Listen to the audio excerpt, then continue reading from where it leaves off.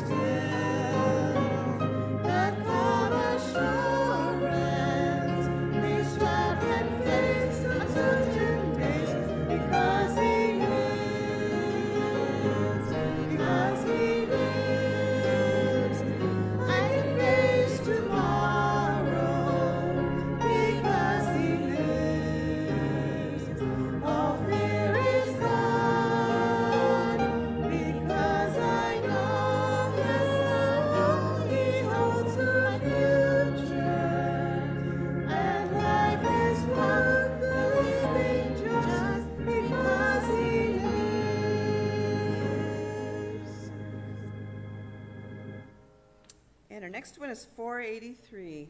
I need thee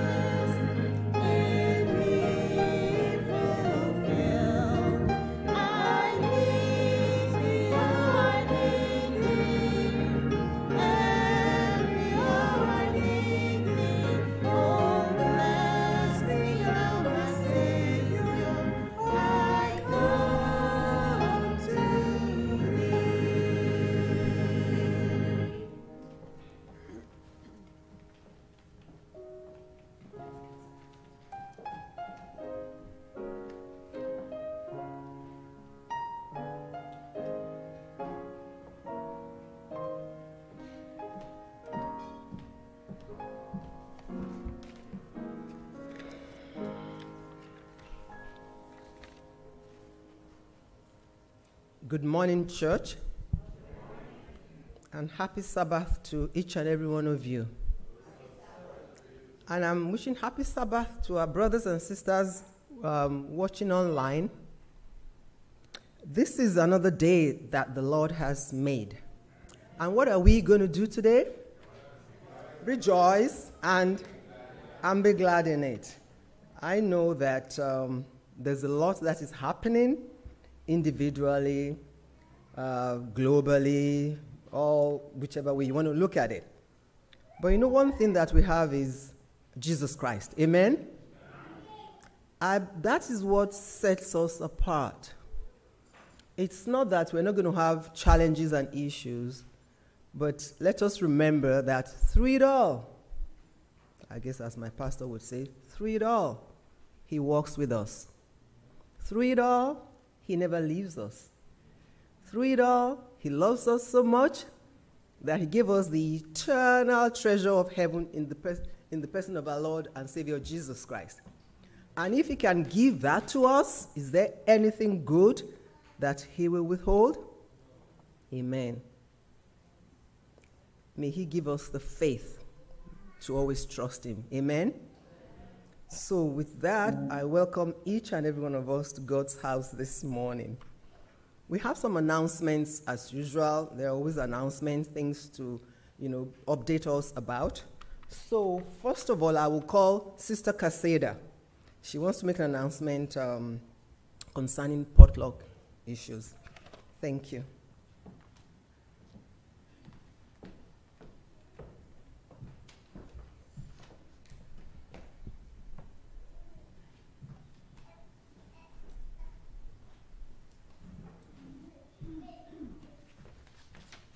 Good morning and happy Sabbath, everyone. Linda thinks I'm here to do announcements, but I'd like to welcome everybody to, to church this morning. um, I'm going to do an announcement, but I'm feeling a little mischievous in a good way this morning. And there's a song that I haven't heard maybe in the last seven, eight years that I'd like to either teach you or we're going to just sing this morning. And it's a greeting song. We're just welcoming everybody to church this morning. And it goes like this Let us greet somebody in Jesus' name. Let us tell them that we love them in Jesus' name.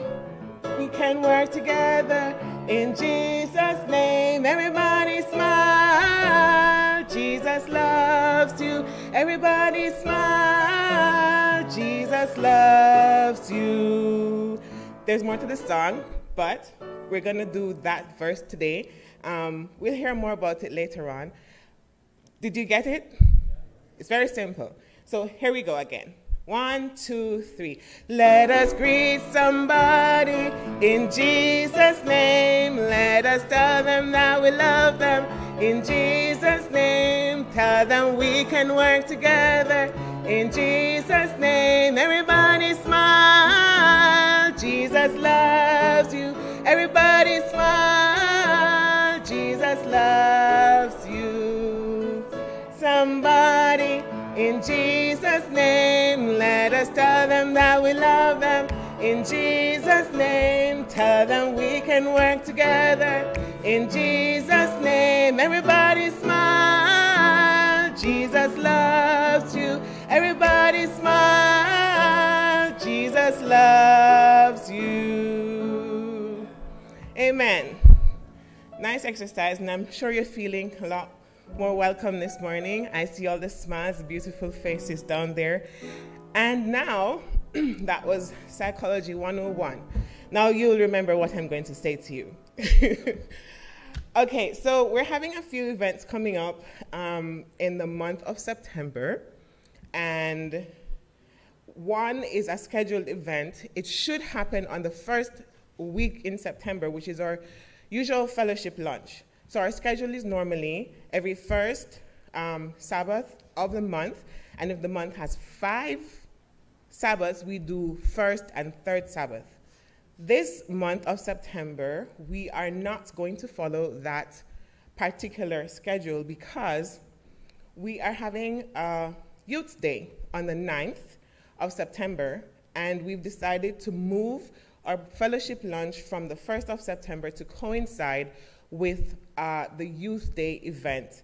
We're going to be having a lot of visitors because we've invited um, uh, the youth from around the region.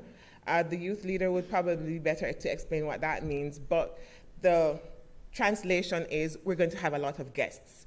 So the appeal this morning is one for you to remember that fellowship lunch is not going to be on the first, it's going to be on the 9th. So whatever it is that you're planning to bring for fellowship lunch is not for next week, okay? It's for the 9th. And I'm going to ask everybody as far as possible to bring an item. Um, we there can't be in, there can't be too much food, okay? The 16th, um, the emphasis is going to be prayer ministries. Um, and because the 9th falls like the week before, um, it's not going to change anything. But Prayer Ministries is going to actually be hosting the fellowship lunch that was scheduled for the 16th. So we are having fellowship lunch two weeks in a row. That's the 9th and on the 16th as well. Okay? All right. Thank you for listening. Have a wonderful Sabbath. Thank you, Sister Casida. I believe that God wanted us to do that, greet one another. That was why I said, Sister Casida, Just come up, come up and make that announcement. Thank you so much.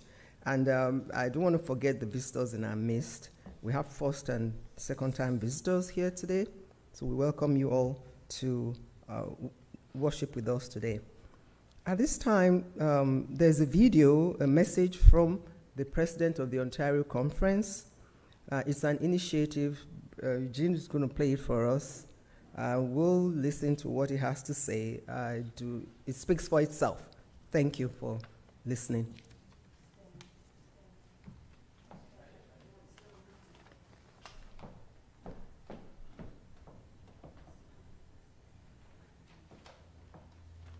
Dear sisters and brothers, I greet you in Christ on behalf of the Ontario Conference Administration. Grace to you and peace from God our Father and the Lord Jesus Christ. In Matthew 25, Jesus spoke of the faithful servants who visited the sick, provided shelter for strangers, and helped those in need. We are called to embody these values and extend a helping hand to those who are less fortunate. In Matthew 24, Jesus urged his followers to pray for their fellow refugees not endure the challenges of winter. Winter indeed brings its own set of hardships, especially for those who have sought refuge in our city of Toronto and across our province. Many of these newcomers lack adequate winter clothing to shield them from the cold. With this in mind, we are thrilled to invite you to join our winter clothes drive for refugees. This is an opportunity for us to put our faith in, into action and show love to our neighbors who are facing difficulties. By providing warm clothing, we can make a tangible difference in their lives and let them know that they are not alone. Let's come together as a community united by compassion and reach out to those who are in need. Pastor Andrew King, Compassion Ministries Director, will give us more details on what type of clothing we will be asked to contribute. As President Babulowicz has already outlined, this opportunity to do a winter clothes drive is our opportunity to get involved in this situation. We can understand that our refugees have been out there in the streets and now being housed in church basements. So we as a Seventh-day Adventist Church are now moving forward by faith. And as he says in Matthew, you were naked and we clothed you. The conference is taking this winter clothes drive initiative.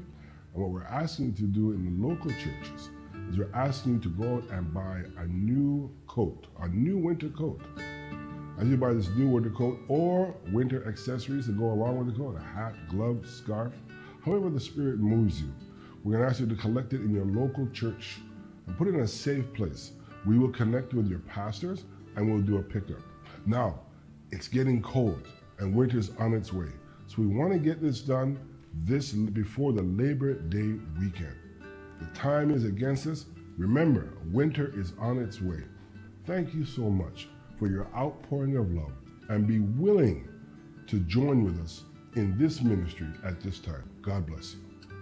The conference administrative committee voted to allocate significant donation towards the project. All of us individually and collectively are encouraged to participate. Together, we can reflect the love of Christ and fulfill His call to care for the vulnerable among us. Join us in this noble endeavor and let us make this winter a season of warmth and hope for all. It is my prayer that we are known and remembered as a praying, caring, and growing conference. Thank you for your heart of generosity and your commitment to bring Christ's hands and feet into our world today. May you and your families be blessed.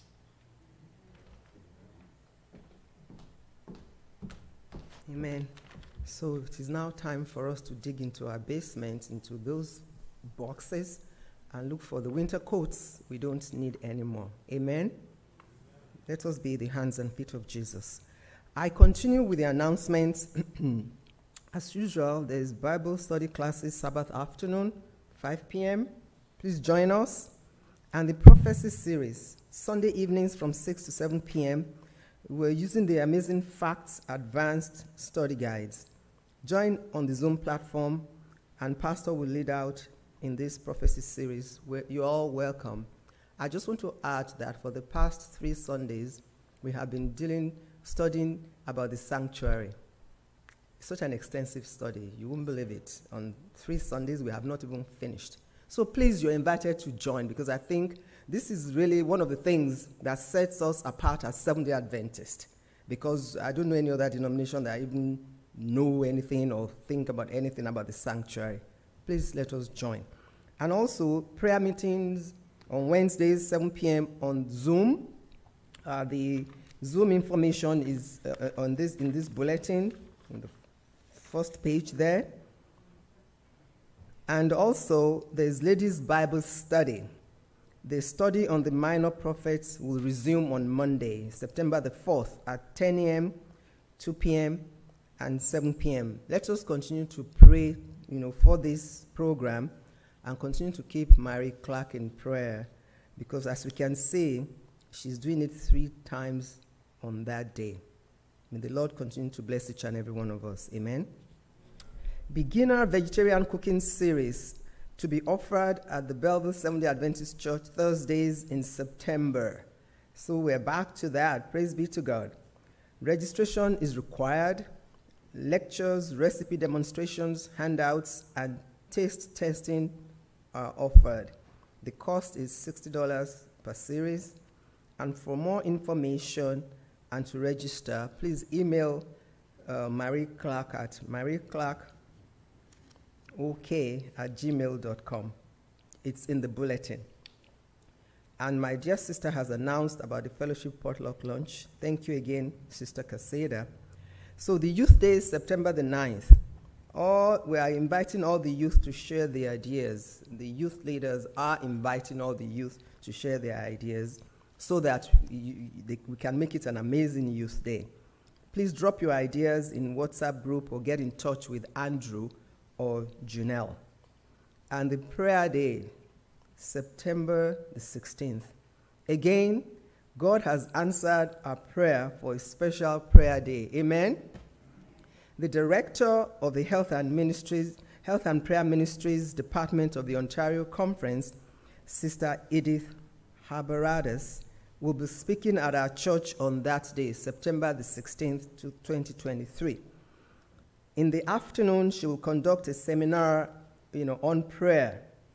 The prayer team believes that we all would like to know more about praying. Amen? and about prayer because the Bible says pray ceaselessly. And if the Bible tells us to pray ceaselessly, we want to know, you know, more about prayer and praying. So what a great opportunity we have to do that now. So please let us come out in large numbers for this program. Invite your friends to come to church on September the 16th so we can, you know, learn more about prayer and, you know, and be a part of this program if there is anything that we need at this time, being honest, searching our hearts, it's prayer. Because nobody knows anything anymore. Like, you don't know what's going to happen the next day, the next moment. But when we connect with God in prayer, He will take care of us. We'll have that peace. We'll be able to be have the comfort, you know, that um, we, we will have when we are connected with God. And um, also, my sister has talked about the potluck. Contributions to the potluck are welcome. The prayer ministry will be um, facilitating the potluck on that day. So please contribute to it. And of course, September the 30th, 3 0.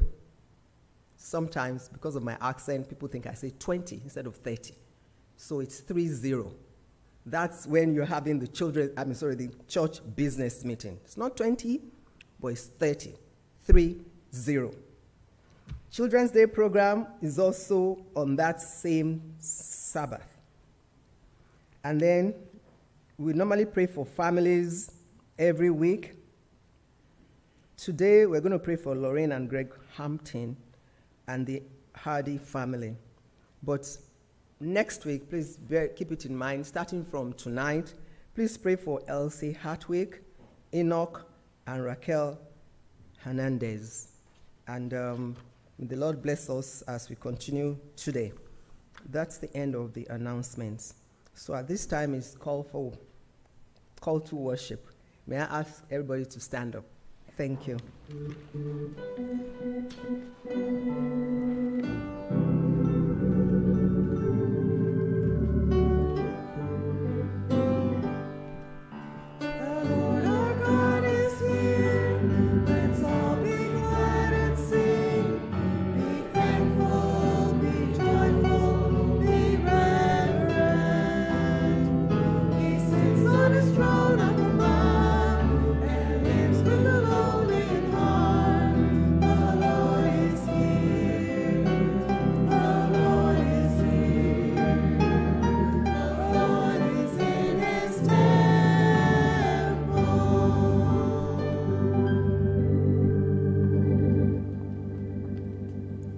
Us bow our heads as we pray.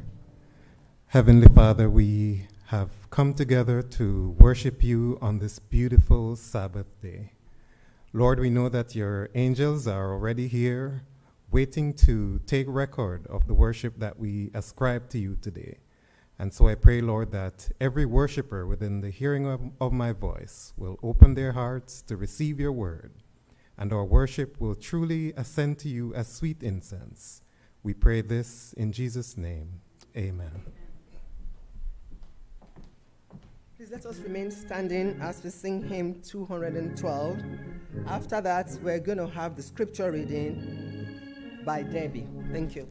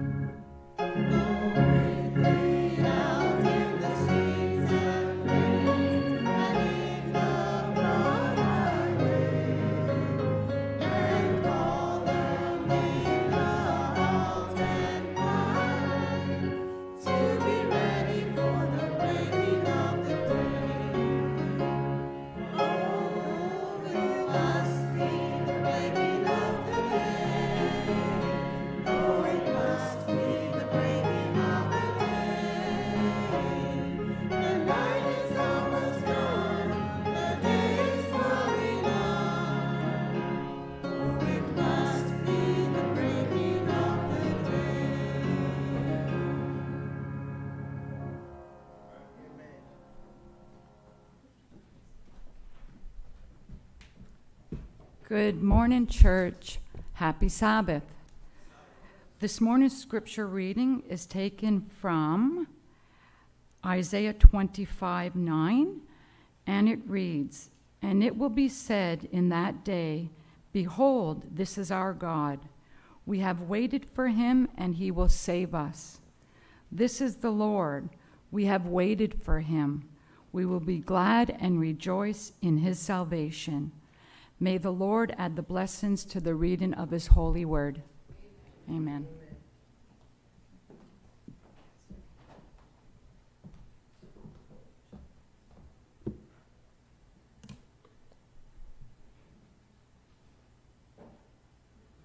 Please, um, it's time for intercessory prayer. And I would ask that as best as we can, let us kneel down for prayer at this time.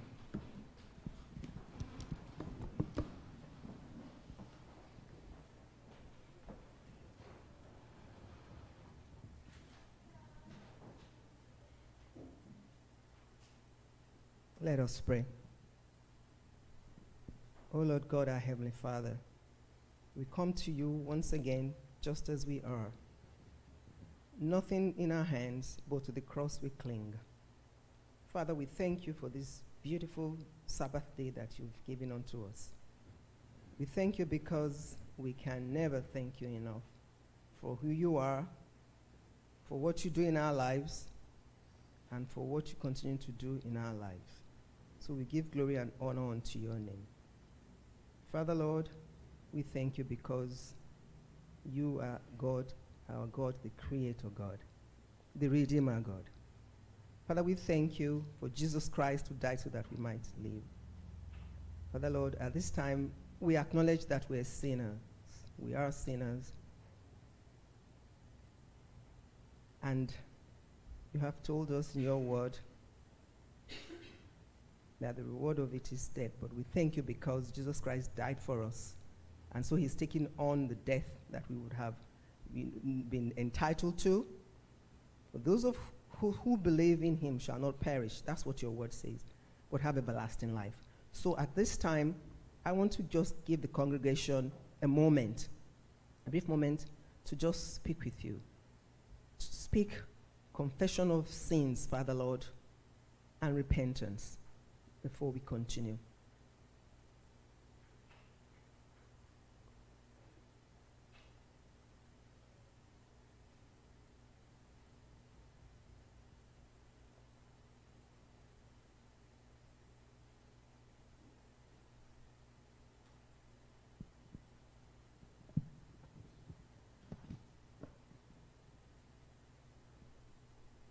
Oh, Father, we thank you because your promises are sure. They are yea and amen. You promise that if we confess our sins, you're faithful and just. Not only to forgive us of our sins, but to cleanse us from all, all unrighteousness. Thank you, Lord, for hearing from us and cleansing us and forgiving us of our sins, Father, Lord. Only you are able to forgive sins. So we're thankful that we have you as our Lord and our Savior. Father Lord, I just want to pray for this congregation today, including those brothers and sisters who are online in this divine worship. Father, you see each and every one of us. You know our needs. We do not have to start listing them before your throne of grace. But you told us to ask and we will receive, seek and we shall find. So this morning I'm asking, Lord, for each and every one of us, whatever challenges we are facing, we may be facing at this time, whatever it is, Father Lord.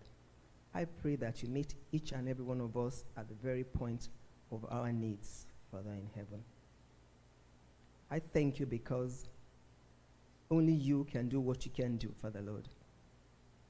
Father Lord, be it healing, spiritually or physically, be it financial challenges, Lord. Father Lord, be it mental health situation, because there's a lot of stress going on at this time. I pray for healing. Because Jesus Christ, when he died on the cross, he did not only take away our sins, but by his stripes we are healed. So I'm standing on that promise this morning for healing as only you see fit, Lord. So we pray for the shut-ins and we pray for the members in the hospital. May you please be with them, comfort them at this time. We pray for those who are traveling, grant them traveling mercies. We pray for those who have lost loved ones. You are the greatest comforter. May you please continue to comfort them with the blessed hope that we have that that day is coming. The, that morning when Jesus Christ will appear in the clouds of heaven and take his own home. Let this be uh, a true source of comfort to those who are mourning. Father in heaven, I also want to thank you, Lord, for our pastor. I commit him into your hands. He's not here today. Pray for him and his family, wherever they are. Be with them. Continue to provide him the strength to lead all his churches, Lord. And as he's doing so, help him to continue to hold on to your hands, Father in heaven. I just thank you because you're more than able. At this time, I want to pray for the families we're praying for this week. And we have Lorraine and Greg Hampton. Father, you know them. You know their needs. I pray that you be with them. They're going out and they're coming in. Meet them at the very point of their needs, Father Lord. Above all, help them to remain true and faithful to you. All of us need to remain true and faithful to you. So I'm just praying for my brother and sister that you help them to continue to walk with you, have a closer relationship with you. I also pray for Scott, Scott and Andia Hardy, and Shinur and Shalisha. And Father Lord, I'm also praying for young Anna, Hannah, who is here. I pray for this family, Lord. I pray that you continue to bless them. I pray, Lord, that whatever that you make whatever crooked ways that could be, you know, happening in their lives, make, may you make them straight, Lord. I pray, Lord, because you are the only one that can do it for, for us, for them, Lord. Father in heaven, I thank you. Let the, your, lo- the love that you have continue to radiate in their hearts, Father Lord. To continue to look up to you as the author and finisher of their faith, Lord. Come what may.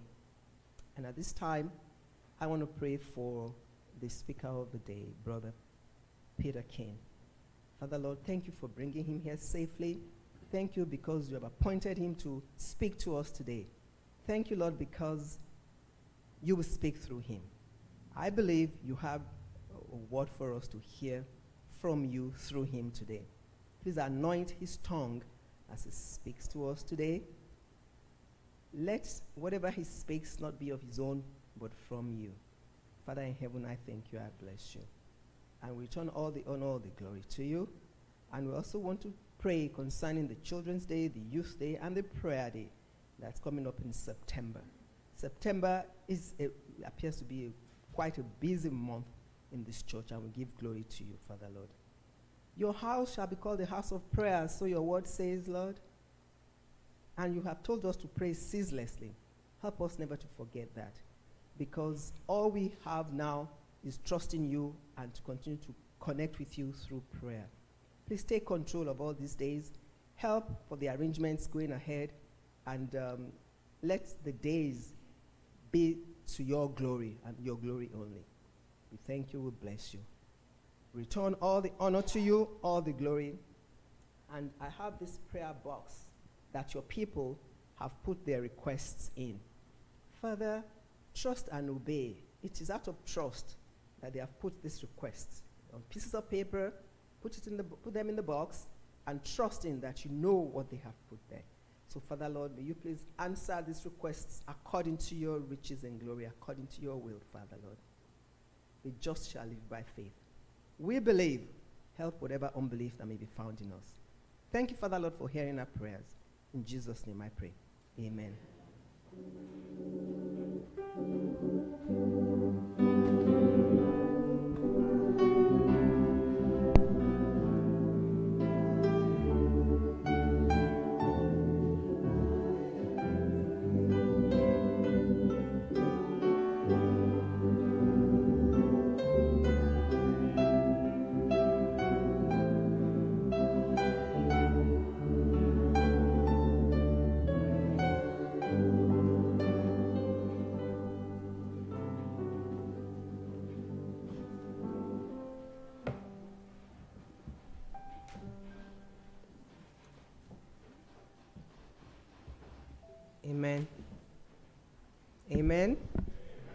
Praise the Lord. So, as we continue the divine service, it's time for tithes and offerings. And um, the offering emphasis for today is the Ontario Conference Advance. That's our conference. And God loves a cheerful giver. So please dig deep into your pockets and provide your tithes as I, and offerings as I call upon the deacons to collect God's tithes and your offerings.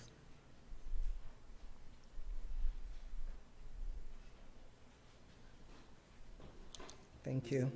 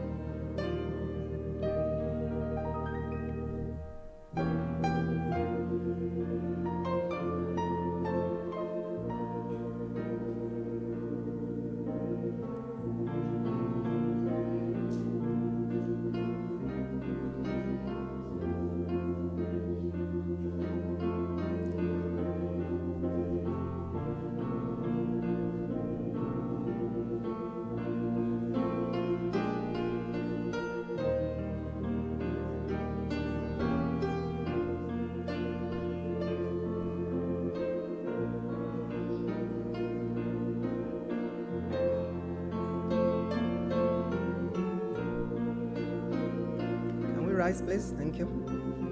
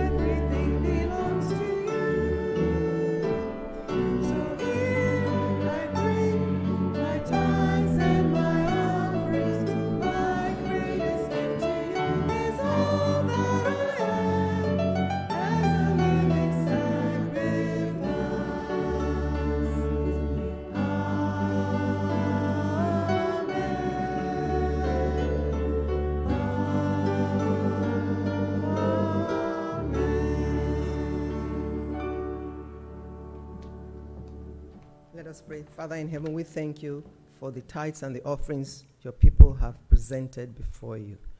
Father, this is a reasonable sacrifice. We thank you because everything we have is from you. Thank you for putting it in our hearts to give out of what you've given us. I pray that this monies be applied, you know, to where it should go. And I pray, Lord, that you provide for those who perhaps may not be able to have not been able to give today. And I pray that you grant wisdom to those who are going to disperse these funds. We thank you, Lord. In Jesus' name I pray. Amen. It's time for children's story. And I believe the Sloan family are giving the story this, giving the story this morning. Thank you.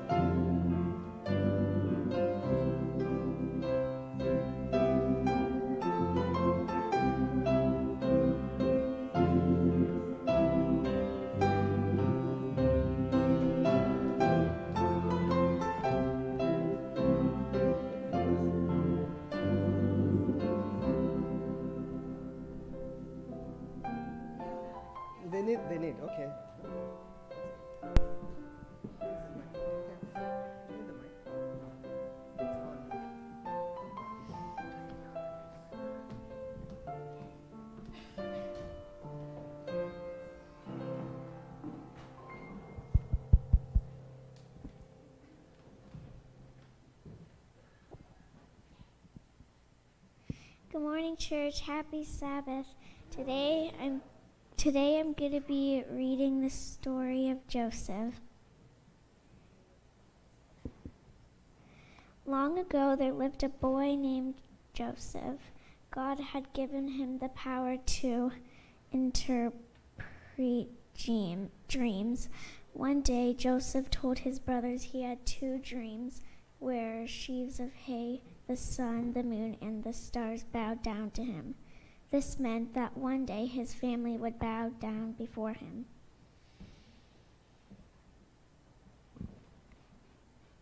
This made Joseph's brothers so angry that they threw him into a well.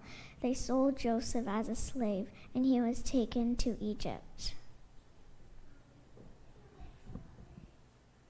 Soon Pharaoh learned that Joseph could interpret dreams. One of Pharaoh's dreams meant that a famine was coming. Joseph told Pharaoh to collect food to, to store. Pharaoh was so impressed that he put Joseph in charge.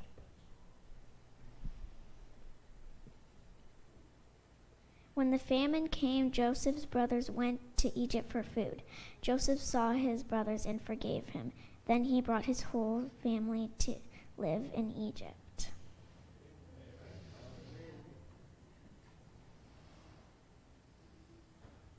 Who wants to pray?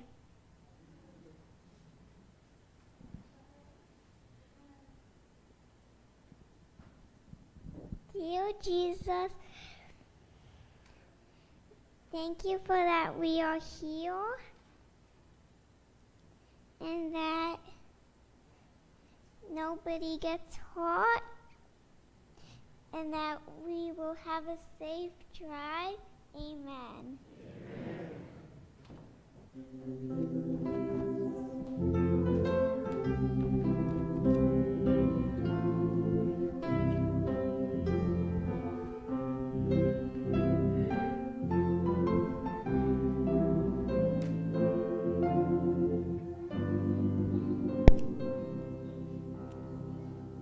Thank you very much for the children's story, Sloan family.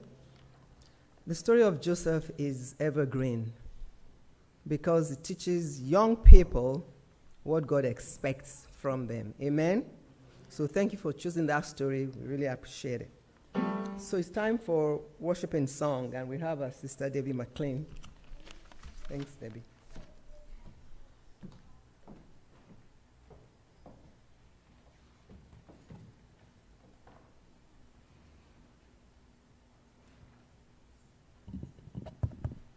Good morning. Good morning. uh, when I get into my car, I have a couple different channels that I listen to on my Sirius XM, and the Bluegrass Junction is one of them. And um, it has a lot of gospel music on it. And I've heard this song the last little while, um, and it's called My Prayer, and it's by Brooke and Darin Aldridge.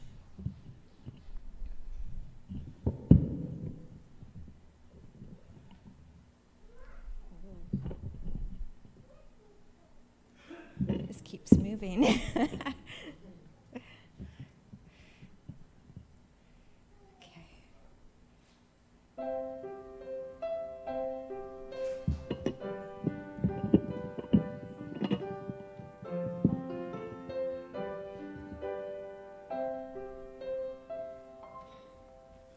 When my life gets dreary and I'm feeling weary trying to find a way to survive, I give all my problems to someone who can solve them. Tucked inside this prayer I say each night.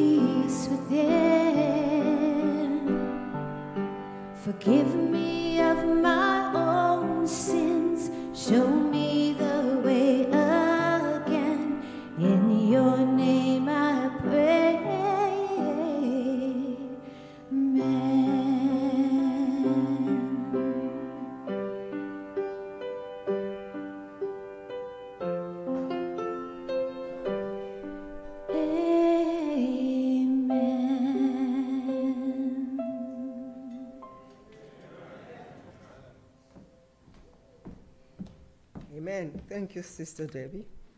God bless you as you use your talent for Him. It's now time for worshiping word. As you see in the bulletin, you see the title of the sermon, Wait Training, and uh, speaker today is Elder Orel Peterkin. I just want to tell us a few things about our speaker for today because I know you want to know. He's originally from the beautiful island of Jamaica. Amen? Jamaicans man, well, Agwan. So he's from that island and has been a Seventh day Adventist all his life. He has served the church in various ministries, including music, Sabbath school, Pathfinders. Yeah, I think that's how his face is familiar. I'm a Master Guide too. So, family life and elders. Currently, he's an elder at the Agape Temple Seventh day Adventist Church. He loves the Lord with all his heart and is determined to make heaven his home and to get others ready for the kingdom. I think we can, you know, be determined as well to make heaven our homes. Amen? And to get others ready for the kingdom. After all, that's what Jesus says Go ye and make disciples of all nations. I will come again and take you with me. So, having said that, please let us hear from Brother, Brother Peterkin what the Lord has prepared for, for us today. And please keep him in your prayer as he's speaking to us today. Thank you very much.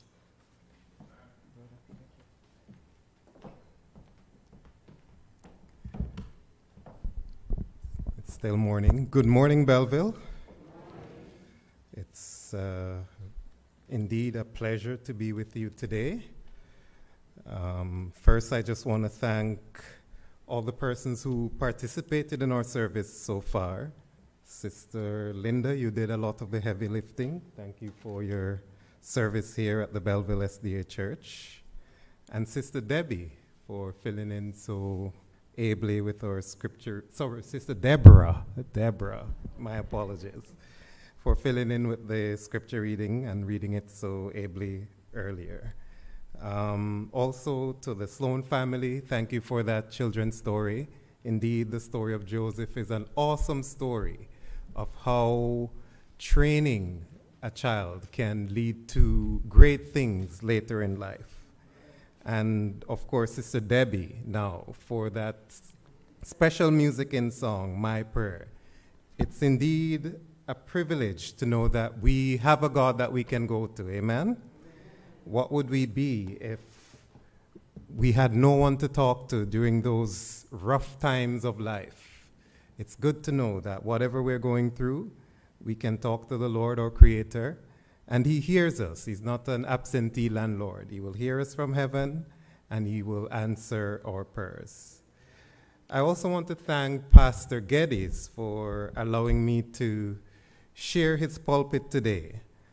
Um, I also want to thank my wife, Lisa, for being here. Some of you don't know her, so I'll ask her to wave her hand. Thank you for your support. We have been visiting your lovely church here at Belleville for a little while now, and we're just happy to be here today. Um, I also want to thank some of my Agape family members, the St. Jude's family. Could you wave your hands? okay, thank you for being here as well. The title of the message today is, as outlined in your bulletin, Wait Training. Wait Training. Now, God has laid a word on my heart, and I know it will be a blessing for all of us. It may be a sermon for me, so if you hear some things that don't apply to you, just take it that it may be a sermon for me, okay? but God has a word for all of us, I believe. But before we get into the word, I ask that we bow our heads as we pray. Let us pray. Heavenly Father, we have come to that moment when we will hear a word from you Father, I just ask that you will, like you did with Isaiah, touch my lips with a live coal from your altar that will burn every dross of sin from me, so that the word that you have given to me, Lord, will come through with power to your people today, and that they will be blessed. So, Lord, let the words that you are going to say through my mouth and the meditation of all our hearts be acceptable in your sight. For Lord, you are indeed all our strength, and you are indeed our great Redeemer. For we pray in Jesus' name. Amen and amen. Alrighty, I see my clicker is working, so thank you, Brother Eugene. I think it's fair to say that we live in a fast paced world that is changing exponentially. One can say that we live in an instant or a now generation where everything has to happen quickly. How many of you remember those road trips you would take with your families? Everyone would start all excited, you know, to go on this road trip. But only a few hours into the trip, what would be the familiar phrase that you would hear from your children? Well, yes, they would say we're bored, but the, the familiar one I'm looking for is, are we there yet? And you'd hear that pretty often. Gone are the days when we, wait, we want to wait too long for anything anymore. Now, I have a confession to make, and is Belleville a church that can keep secrets? Or no, or should I not confess? I, I, I see people. I see some people looking at me as if to say they're not going to keep my secret. Will you keep my secret? Okay, so I'll, I'll tell you my secret. So, if I order a package from Amazon, if I'm going to order a package from Amazon, it has to come next day. Right? I will sit for hours and look at all the packages there and look at the delivery dates. And if it's not coming within two days, I am just not ordering that package. That, that's just my confession. It doesn't happen to you, right? You don't order. you don't order online. Okay, praise the Lord for that. We are now in the time when writing and sending letters through the post office is a thing of the past. I think it's probably now studied in modern history classes when they teach you what people used to do back in the day. In fact, if I should do a survey, maybe it is that many of us don't even know where the post office in our area is. We rely instead on emails, and in some cases prefer even quicker means of communication, like text messaging or some other messaging service, like WhatsApp, Twitter, or these days they call it X, or Instagram, etc. Very few are okay waiting for anything anymore. Yet, as Christians, there is one thing that has not been rushed so far, and that is the coming of Christ. It's been al- almost 2,000 years since he told us that he would come again, and still we wait for that event. During this time, generations have passed, and it's easy to see how today there could be apathy and doubt. But how do we spend this time waiting for the Lord's return? What are some of the inherent pitfalls that we should avoid? Are there dangers lurking that we need to be aware of while we wait? What are the things we need to do to make our wait effective? Today, we'll be looking at a few points around waiting for the Lord's return and the things that God calls us to do during this important time. In Psalm 27 and verse 34, David writes, sorry, Psalm 27, verses 13 to 14, David writes, I would have lost heart unless I had believed that I would see the goodness of the Lord in the land of the living. Wait on the Lord, be of good courage, and he shall strengthen your heart. Wait, I say, on the Lord. Psalm 27 is entitled, and you see the title there, An Exuberant Declaration of Faith. In earlier verses, David talks about being fearless and unafraid because of his relationship with God.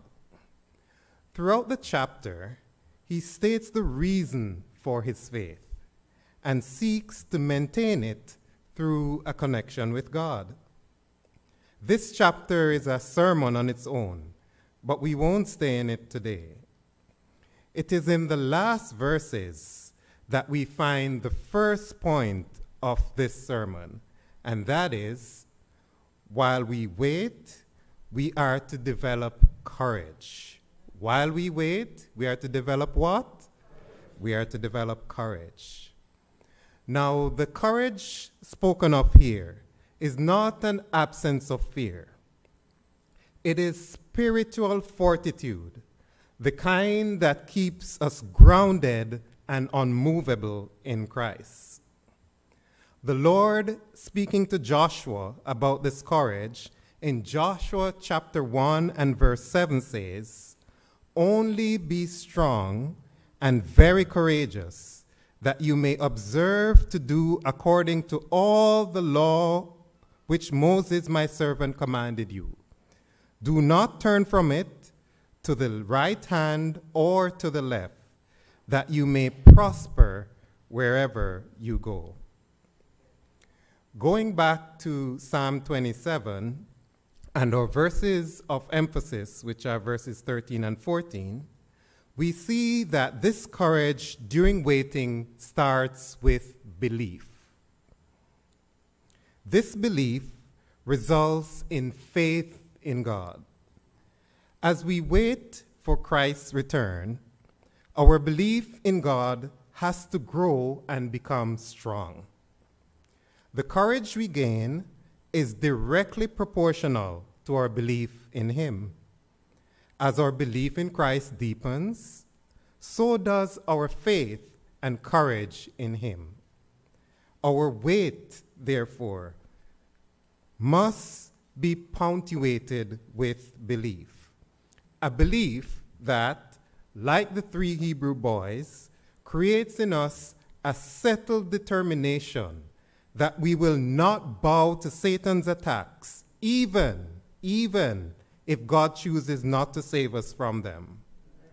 Weight training involves a growing belief and faith in God, resulting in unmovable courage. The second thing that weight training requires is for us to develop trust and hope in God. So, the second thing that we need to develop is what? Trust and hope in God. Now, in Psalm chapter 33, verses 18 to 22, it tells us, Behold, the eye of the Lord is on those who fear him, on those who hope in his mercy, to deliver their soul from death, and to keep them alive in famine. Oh, our soul waits for the Lord. He is our help and our shield. For our heart shall rejoice in him, because we have trusted in his holy name. Let your mercy, O Lord, be upon us, just as we hope in you. Now, throughout our wait experience, we have to develop hope and trust in God. As we reverence Him, we will see various instances of His work in our lives through situations. And as we grow in Christ, each situation will increase our trust in Him and give us renewed hope in His return. And these are good or bad situations. Now, Job exemplifies this deep, unfailing trust in God that we need to develop during our wait. When he says in Job chapter 13 and verse 5, Though he slay me, yet will I trust him. Our trust in God at times has to defy even the very logic of what we see and allow us to hold on to him, even if he seems to be the source of our distress. And I want to repeat that. Our trust in God at times has to defy even the logic of what we see and allow us to hold on to Him, even if He seems to be the source of our distress. This is the level of this level of trust does not come easy. There will be obstacles along the way. But trust in God needs to be a progression in every circumstance of our lives as we wait, eagerly wait for his return. Now, we know it's impossible for us to attain this in our own strength. But the good thing is that we have a promise in Philippians 4 and verse 13 that we can accomplish some things through Christ. Okay, I see that you're listening. That's correct. Philippians 4 and verse 13 reminds us that even though this seems impossible, we can accomplish all things through Christ who strengthens us. The third thing that we need to do when we are engaged in weight training is that we are to ground ourselves in the Word of God while we wait. We are to ground ourselves in the Word of God while we wait. Psalm 130, verse 5, reminds us of the importance of God's Word as part of our weight training when it records, I wait for the Lord. My soul waits, and in His Word I do hope. The Word of God is a critical source of knowledge that reveals God to us, and in return, deepens our relationship with Him. We cannot neglect the study of God's Word during our wait. It is not enough for us to come to church on Sabbath to listen to a sermon, and while this is good, it is not a substitute for our own personal Bible study. We have to become like the Bereans, who essentially took notes during sermons, but went and studied for themselves. there are many last day deceptions to come upon us, and that will overtake us if we are ignorant of God's word or just have a superficial knowledge of it. Perilous times are ahead during our wait for Christ's return, but God is our sure defense. Job describes the mark that we are to aim for in Job chapter 23 and verse 12, when he says, I have not departed from the commandment of his lip. I have treasured the word of his mouth more than my necessary food. Can you think about that? I have treasured the word of his mouth more than my necessary food. The text here is not saying that we are no longer to have food. It is saying that we all need a priority shift, that much more time needs to be spent in God's Word. And if we are honest with each other, we can say that there's much room for growth here, right? There is much room for growth here. As part of weight training, let us focus, with God's help, on putting His Word in the place of prominence that it deserves. Our weight training involves lifting, the lifting of our Bibles and the spirit of prophecy, the lifting of God's Word from its pages, so that the Holy Spirit can deposit them in our minds. We cannot, brethren, be grounded by what we don't read. God's word cannot be part of our lives by osmosis or some kind of transference. To get its potent effect, we need not only to hear the word of God, we need to devote time reading it so that it can guide us during our period of waiting. Now, the fourth point is that weight training involves shifting our focus more towards the things of God and less towards the things of this earth. That is, weight training involves shifting our focus more towards the things of God and less towards the things of this earth. During his letter to the brethren at Philippi, Paul admonishes them about the danger of placing focus on the things of earth more than the things of heaven. In Philippians chapter 3, verses 17 to 20, he writes, Brethren, join in following my example and note those who so walk as they have us for a pattern.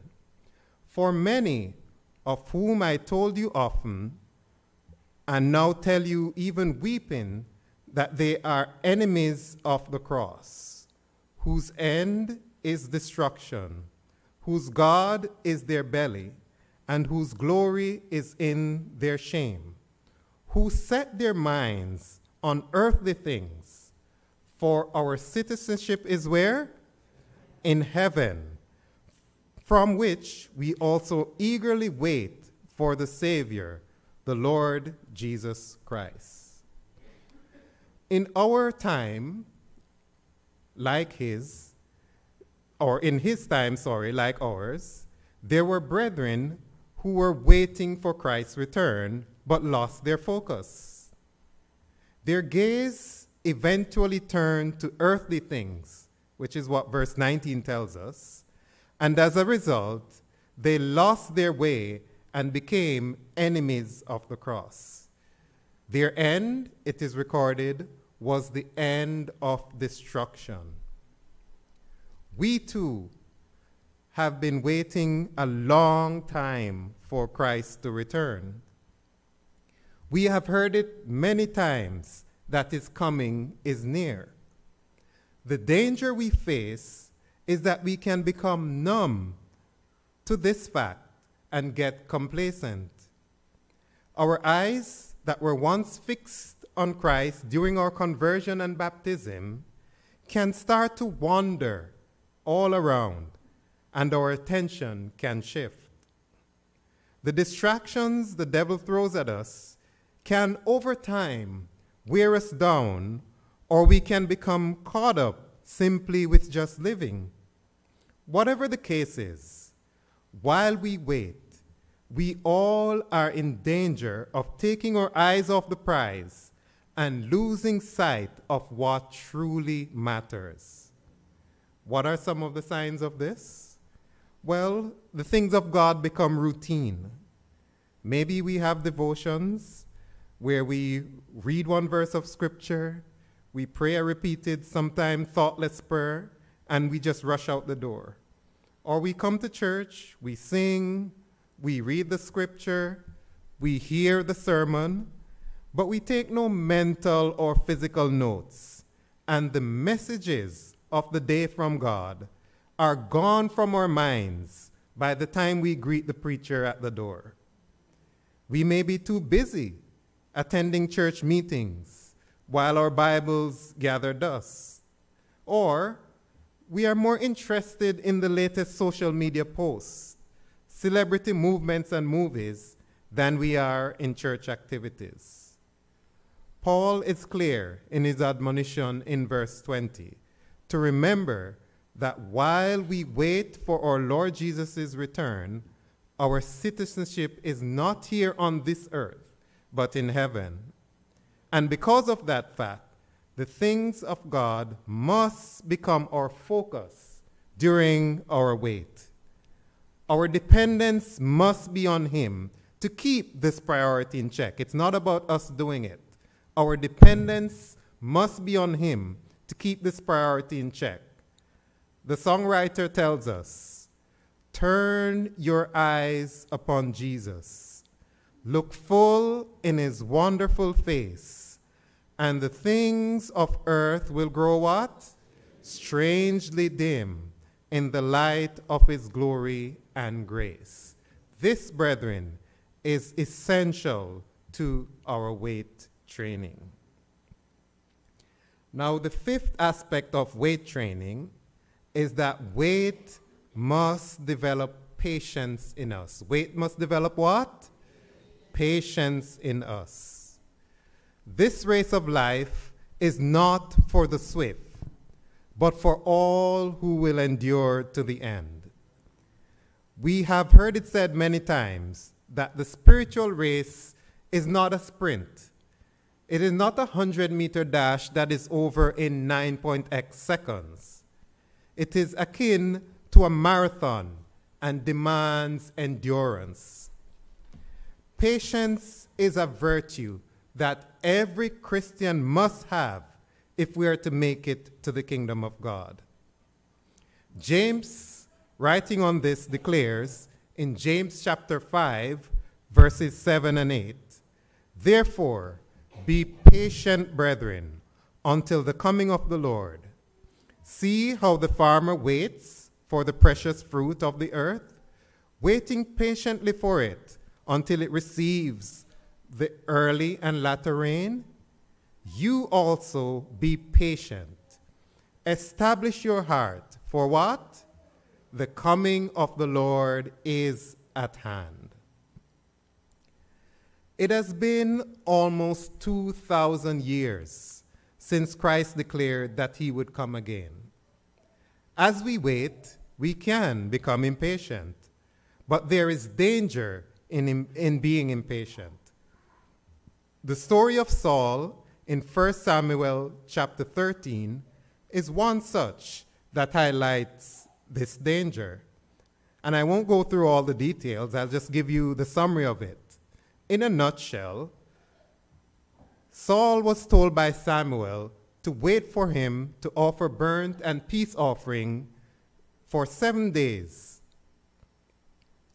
while the Philistines were attacking Israel.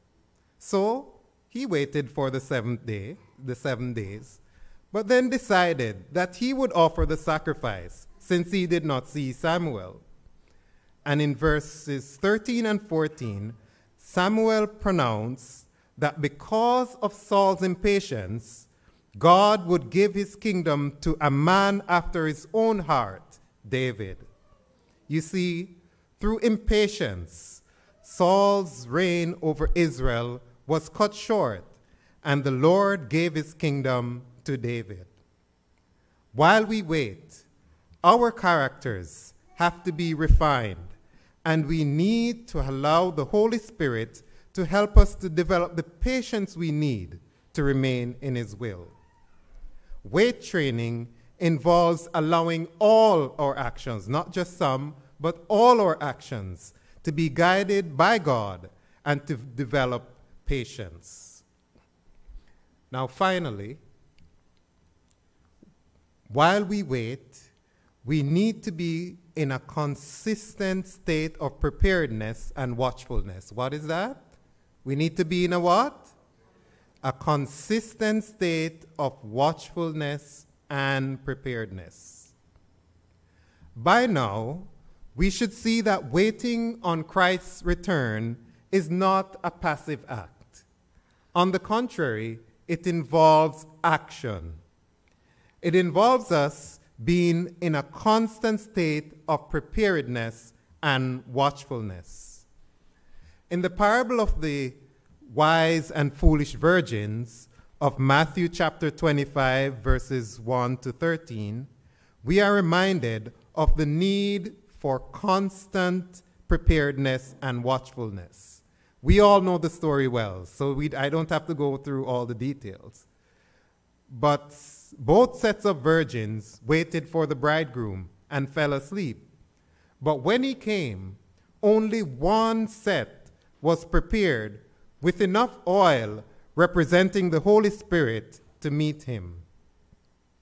1 Thessalonians 5, verses 4 and 6 tells us, But you, brethren, be not in darkness, so that the day should overtake you, and we're talking about the day of the Lord's returning now, so that the day, this day should overtake you as a thief.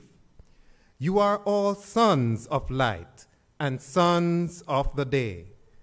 We are not of the night nor darkness. Therefore, let not let us not sleep as do others, but let us watch and be sober. Sister White, commenting on this in Acts of the Apostle, page 260 writes, There are in the world today many who choose to close their eyes to the evidences that Christ has given to warn men of his coming. They seek to quiet all apprehension, while at the same time the signs of the end are rapidly fulfilling, and the world is hastening to the time when the Son of Man shall be revealed in the clouds of heaven. Paul teaches that it is what? It is sinful to be indifferent to the signs which are to precede the second coming of Christ. Those guilty of this neglect, he calls children of night and darkness. He encourages the vigilant and watchful to take these words But ye, brethren, are not in darkness, that the day should overtake you as a thief. Ye are what? Children of light and the children of the day. We are not of the night nor darkness. Therefore, let us what? Not sleep, as do others, but let us what? Watch and be sober. I heard it said once that a Christian needs to be one who has his Bible in one hand and the newspaper in the other.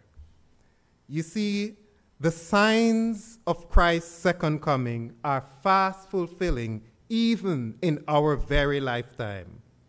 The time is now, not yesterday, the time is now to first be prepared ourselves and to help others to prepare and to watch all the happenings around us for his second coming.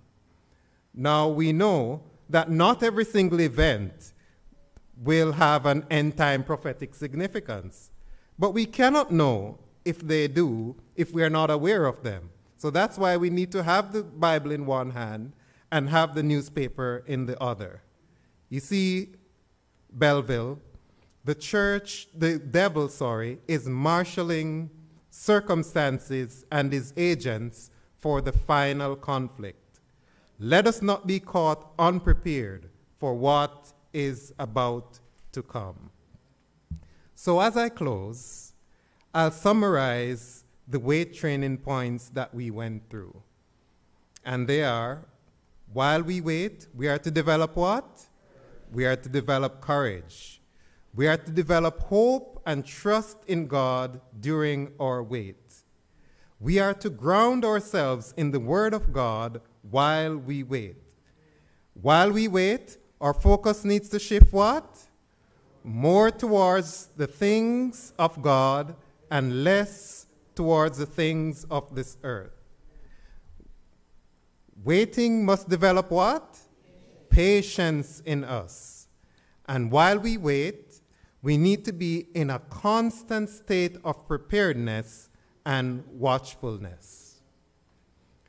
Our scripture reading that was read so ably earlier in Isaiah chapter 25 and verse 9 states, And it shall be, it shall be said in that day, Behold, this is our God. We have waited for him, and he will save us. This is the Lord. We have waited for him. We will rejoice, we will be glad, sorry, and rejoice in his salvation. This pronouncement can be made by all of us who complete our wait training. Brethren, I repeat, we are nearing home. We don't know the day or the hour, but it cannot be very long from now. Just take a look at a few of these recent scenes, and I know you know them all. On the left here, we have the wildfires that ravaged Hawaii recently. And on the right, we have the wildfires that are ravaging our own country here, Canada. This one is of the recent Hurricane Hilary that was a once in a 84 year event on the, west on the west coast of Mexico and the US. Now, these are just a smidget of the current events pointing to the nearness of Christ's return. There is a work to do. We are almost beyond the point of getting ready, and more to that of remaining ready and getting others ready. And I'll repeat that. We are almost beyond the point of getting ready, and more to that of remaining ready and getting others to be ready. We have not been left alone to do this work of preparation. Ready or not, Christ is coming. And we need to engage in our wait training in order to go home with Him. He is offering the infinite resources of heaven to help us to be ready. But we need to be willing to accept this offer. So, as I close, my appeal today is a simple one. Are you willing, by God's grace and through His strength, to allow your life to be transformed during this waiting period so that you can be ready to meet Him when He returns? If so, please stand with me as we pray.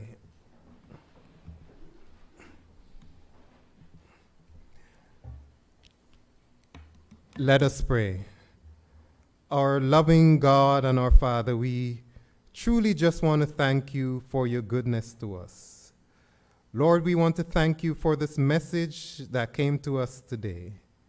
We know, Lord, that indeed your coming is very, very near, perhaps even in our lifetime. And truth be told, there is still a work for us to do.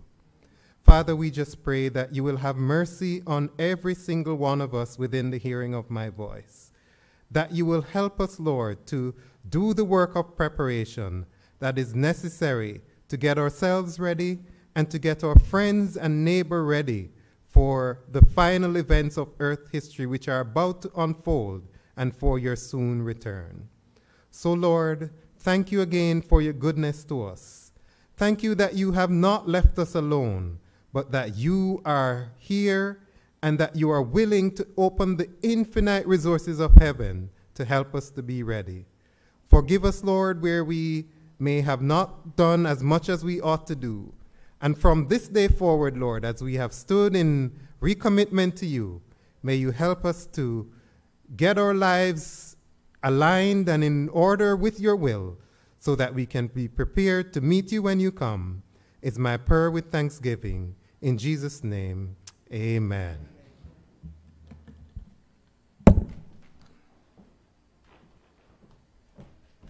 We thank Brother Pete, uh, Peterkin for the sermon, Wait Training. Indeed, we know not the hour, so let us be ready and help others to be ready.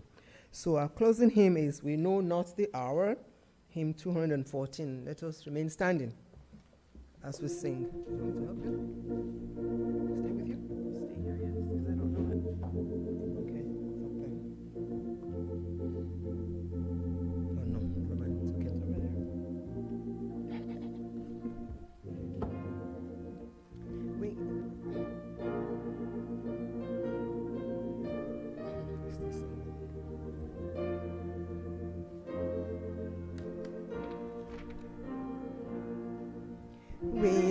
not the hour of a person's appearing. We is often foretell that the moment is nearing. When he shall return, tis the promise most cheering. But we know not the hour. He will come.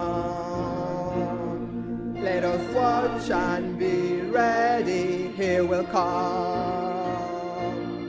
Hallelujah, hallelujah. He will come in the clouds of his Father's bright glory. But we know not the hour. There's light for the ones are seeking salvation. There's truth in the book of the lost revelation.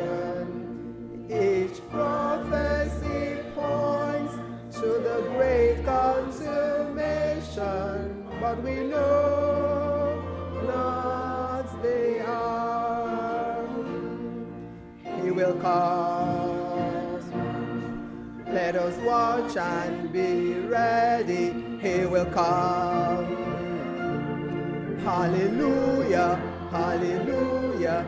He will come in the clouds of his Father's bright glory. But we know not the hour. Watch and we'll pray